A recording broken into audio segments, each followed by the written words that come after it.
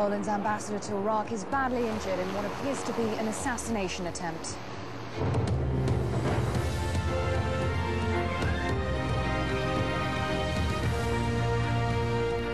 diplomat and at least three others are targeted in multiple bombings just outside the embassy gates and one Polish security guard has reportedly been killed.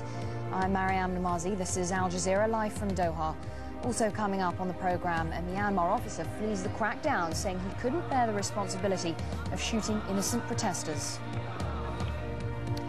Peacekeepers are undermanned and being outgunned. The African Union head warns of disaster in Darfur.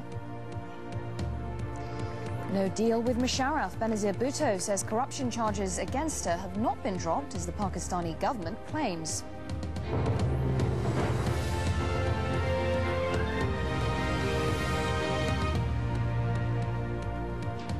One of the United States' staunchest allies in Iraq has become a target in the capital, Baghdad.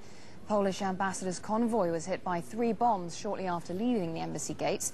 One person was killed in the incident and reports say he was a Polish security guard.